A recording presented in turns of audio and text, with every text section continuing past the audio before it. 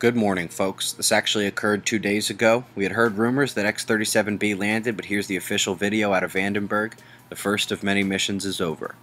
This is a good article on ancient climate change making a green Antarctica. Greece kept shit from hitting the fan for a bit longer. Remember, global debt is exacerbated by stagnated growth in India and China, and France is apparently just going to let their government shoulder more and more of the burdens. Earthquake activity is rising worldwide. A 6.4 hit off Japan yesterday. It was a global ringer with L waves seen across the globe. We also had some smaller tremors of concern, like this quake swarm off the Kamchatka coast. Big volcanoes there. Largest quake of the year within the borders of Yellowstone. Tennessee saw two quakes yesterday. Another quake swarm on the mid Atlantic ridge, and way down there, a five pointer hit the South Sandwich Islands and a moderate tremor off Madagascar.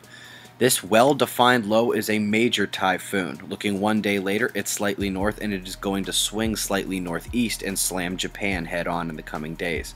We had a gamma burst last night, first one in about a week, coming out of the constellation Aquila. To locate at sundown, when the color fades and Mars, Saturn, and Arcturus are making a triangle, look west for the largest star in the horizon, and Altair is smack in the middle of that constellation.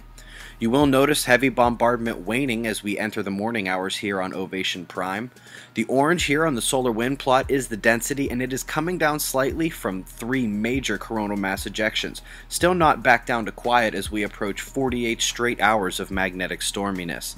You can see the horizontal disturbance in our outer magnetic layer here, tons of induced resonance on the planet, and of course that little 1400 uh, anomaly we see every day, multi-line frequencies ascending from the baseline and both the F1 and F2 layer critical frequencies took a jump, indicative of temporary over-ionization of that ionospheric layer.